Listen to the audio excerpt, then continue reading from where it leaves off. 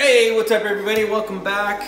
I just found out about this new hack on the iPhone and I wanted to share it with you. Thank you Cameron for hooking me up on this on this hack. Life changed if you're an iOS user. We're gonna jump right into that right now.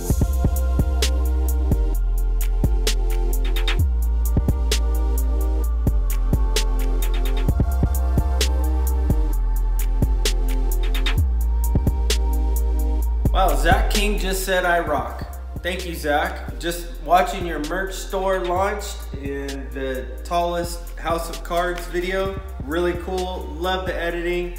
And you totally rock. Anyway, back to the hack.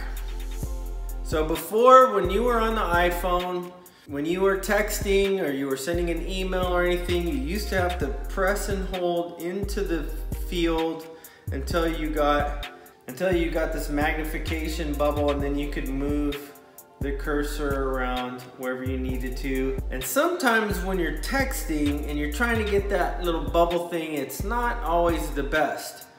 But check this out. If you press and hold the space bar, ooh, life changed forever. Yep, that's right. You can just simply scroll you press and hold and slide it back and forth and you move that cursor. I've tried it on an iPhone 7, iPhone 8, 8 Plus, iPhone X and XS and it works on all of those. I don't think it's super new, but it was new to me. I thought I would share it with you. There you go. Anyway, you guys are awesome. Thank you so much for watching and stopping by. Hope you have a happy Thanksgiving and all your wildest dreams come true. And until next time, cheers.